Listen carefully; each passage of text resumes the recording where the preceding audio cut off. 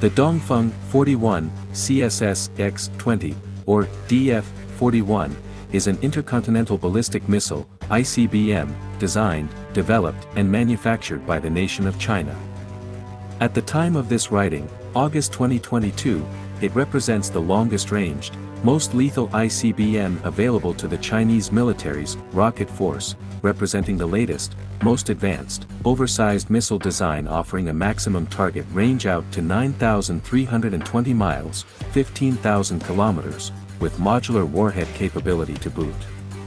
The DF-41 began testing in July 2012 with more advanced tests following into late 2014 and throughout 2015 to 2016.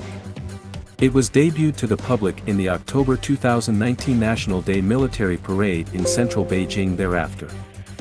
With a length measuring 72 feet, 22 meters, the missile's diameter reaches 7.38 feet, 2.25 meters, and its payload tips the scales at 5,510 miles, 2,500 kilograms, while the missile, as a whole, weighs 176,400 pounds, 80,000 kilograms. A three-stage, solid propellant propulsion system is used to propel the massive missile into the sky on its one-way trip. Up to 10 nuclear warheads can be seated in the missile to maximize the blast radius.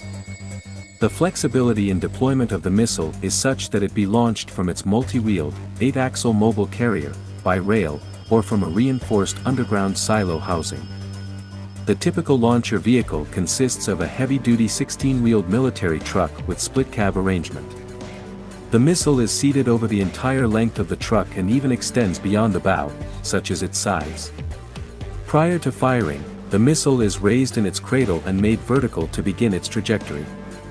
The Chinese military's rocket force operates the missile in two missile brigades as the DF-41 makes up a critical main component of Chinese nuclear deterrence and missile force strength.